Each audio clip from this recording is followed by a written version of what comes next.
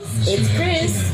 Yep. On a Saturday. Hoping you guys are having a wonderful Saturday and a happy and healthy weekend. Guys, I am up to it again. We are shy one day from the Super Bowl, which we're gonna uh, mingle and mangle and all that schmangle stuff here in the house, of course.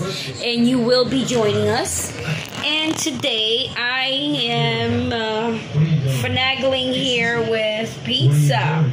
I prepared one and a two. These are going to be the miniature Sicilians. I'm hoping they come out really good. I'm about to pop some more cheese on them. But at first, I'm going to put them in the Emeril that is at preparado over here.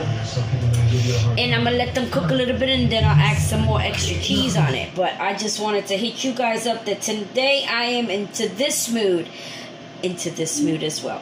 So I'm gonna go ahead and pop those babies in to this uh, handy dandy schmandy thingamajig over here. Let me put the bottom one first. Let's go ahead and put that baby at the bottom here. And then we can go ahead and generously put this one on the top over here and it allows you to do two in one. You feel me?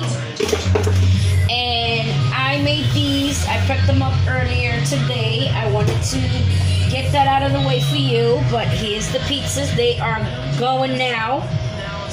And that's gonna be some scrumptious stuff. My proof is in the pudding right here. Boom, get it? So I made those babies. I'm gonna enjoy my wine, Merlot, because I heard it's good for your fatty liver. Let's see, because the sweet one was giving me a lot of stomach aches.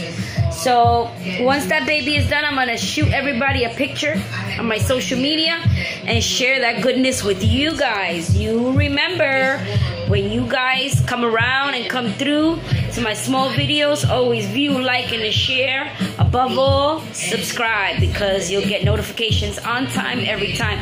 Today is no filter, Chris, all right? Can be beautiful every day. All right, guys, you guys have a wonderful day. Happy Sunday tomorrow and all that good stuff.